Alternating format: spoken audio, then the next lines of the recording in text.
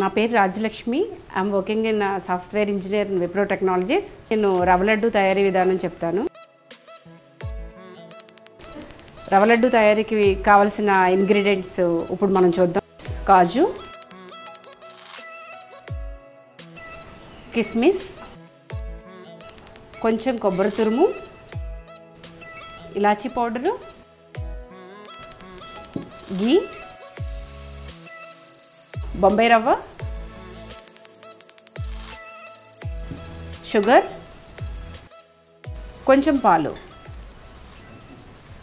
ఇప్పుడు మనం స్టవ్ వెలిగించుకుందాం ముందుగా.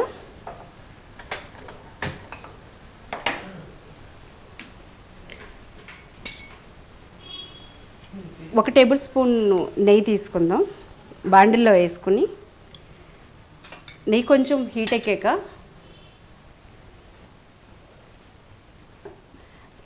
కాజు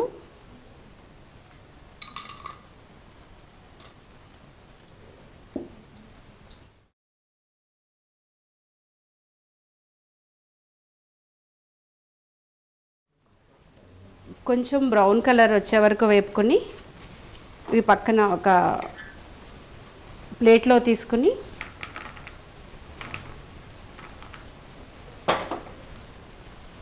కిస్మిస్ వేపుకొని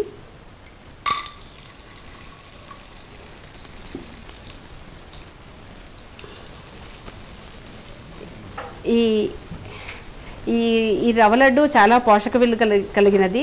చాలా ఈజీ ప్రాసెస్. పిల్లలకి చాలా ఇష్టపడే ఇష్టపడి ఇష్టంగా తింటారు.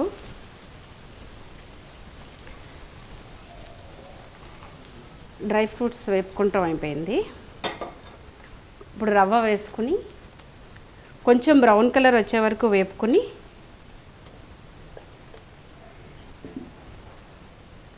కొంచెం తొందరగా మాడిపోద్ది ఇది బొంబాయి రవ్వ. మంట కొంచెం చూసుకుని జాగ్రత్తగా వేపుకోవాలి.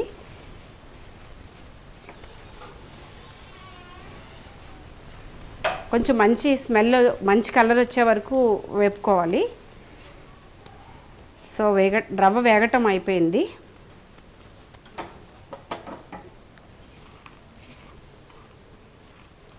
ఒక పక్కన బాండిల్లోకి ఒక ప్లేట్లోకి వేపిన రవ్వను తీసుకున్నాం. ఈ బొంబాయి రవ్వ ఒక కప్పుకి ఒక కప్పు షుగరు.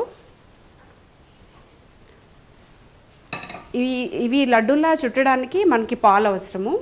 ఈ పాలు ఒక బౌల్లో తీసుకుని కొంచెం బాగా వేడె వేడెక్కాలి పాలు. చుట్టడానికి సరిపోయే వేడిగా ఉండాలి పాలు. ఇవి బయట దొరుకుతాయి కానీ అంత బాగా ఏం చేయరు. అదే ఇంట్లో చేసుకునే అయితే అన్ని ఇంగ్రీడియంట్స్ మనం మంచిగా వేసుకుని బాగా చేసుకుంటాం. పిల్లలకి చాలా హెల్దీ ఫుడ్ ఇది. నేను చాలా బిజీగా ఉన్న ఇలాంటి చిన్న చిన్న బయట కొనడానికి ఎక్కువ ఇష్టపడను. ఏ- చిన్న చిన్న ఈజీ ప్రాసెస్లో ఇంట్లోనే స్నాక్స్ కింద రెడీ చేసి ఉంచుకుంటాను. ఇది ఒక వారం రోజుల వరకు నిల్వ ఉంటుంది. వారం రోజులు ఒక పది రోజుల వరకు నిల్వ ఉంటాయండి. పాలు బాగా పొంగి వచ్చిన తర్వాత స్టవ్ ఆఫ్ వేసుకున్నాను ఈ ఈ రవ్వ షుగర్ వేసిన తర్వాత కలిపిన తర్వాత ఎక్కువ పాలు వేసేయొద్దు.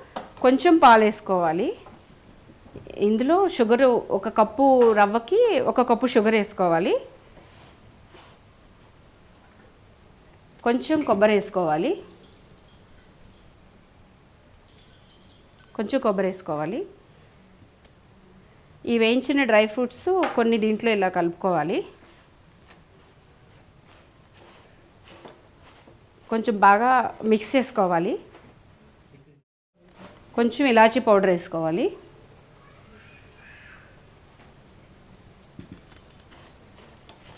మిక్స్ బాగా మిక్స్ చేసుకోవాలి దీన్ని. చేసుకున్నాక ఈ ఈ కాగిన పాలు అన్నీ ఒకేసారి పోసేయకుండా కొంచెం పోసుకుని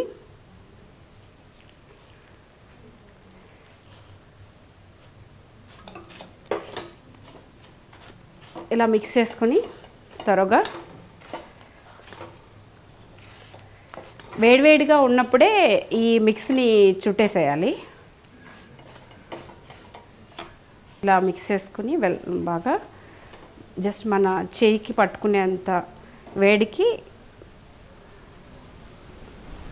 ఇట్లా దగ్గరికి చేసుకుని